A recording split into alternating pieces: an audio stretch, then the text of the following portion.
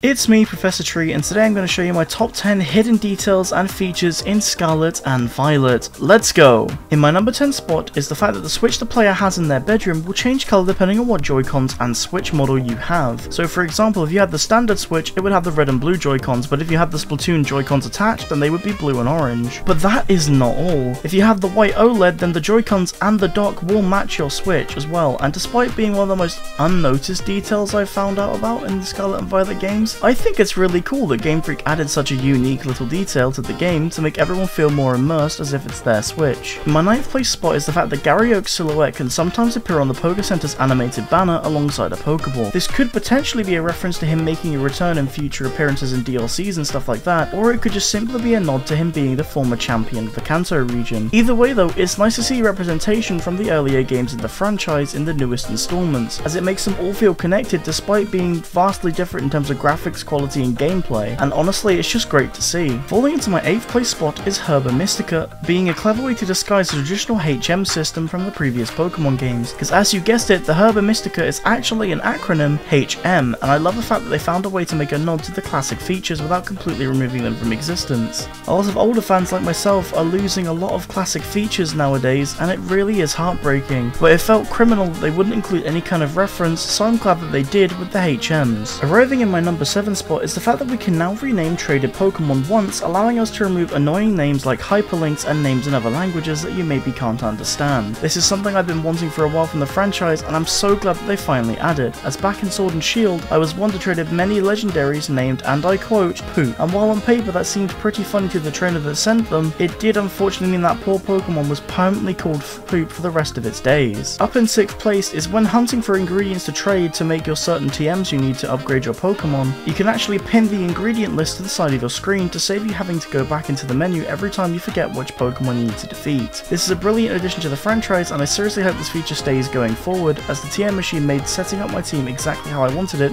so much easier and that alone makes it one of my favourite new changes to the games. Next up, our number 5 feature is Rotom phone cases and I know what you must be thinking, Rotom phone cases? How is that a feature? Well, let me explain. If you didn't know already, if you have save data from Pokemon Let's Go Eevee or Pikachu, you can talk to a rather inconspicuous woman in the Mesagoza Plaza, and she will give you 4 exclusive cases for your Rotom phone. And I like this as a hidden reward as it rewards players for being a fan of the franchise for a lot longer, and it's nothing overpowered so it's nice to see that we still get something special for being around longer in the series. Dropping into the 4th place position is the Ace Tournament. Now for those of you who haven't beaten the game yet this is a minor spoiler, but after the lovely song Celestial by Ed Sheeran finishes playing and the credits have completed, the player will then be asked by the champion to go around and challenge all the gyms they have previously beaten, as a way of sort of testing that they're up to the level the Pokemon League expects of them in the Paldea region. This is great not only for the fact that you can do some grinding ahead of the DLC, but it also allows the player to test out new abilities and new teams to trash the gym leaders that may have previously given them a tough time. And me being the petty person I am, I loved this as I got to go back and whoop Larry's team over and over again. So with that in mind, give the Ace Tournament a try guys, it's definitely worth your time even though it doesn't seem like it. And moving on to third place. In my third place position is the hidden Gimmighouls around the Paldea region. For those of you that want to get yourself a Gholdengo, please remember this. Yes, you can get the coins by defeating the chest form Gimmighoul that you find in the ruins of Paldea, but if you want to maximize your coin output, here's how you do it. First, by entering the ruins, you need to listen out for a little Mario wah sound, and when you hear it, look around carefully for the Gimmighoul, and with luck you'll find it. Do remember though, they are rather small looking, so keep that in mind and look closely for them. And if you've made it this far into the video, comment down below, show me the money to show me how many of you made it this far. Moving on to number 2. The second to last feature, which I think is honestly kind of cool, maybe some of the newer players as well that haven't messed around with the picnic mechanic yet, you're probably wondering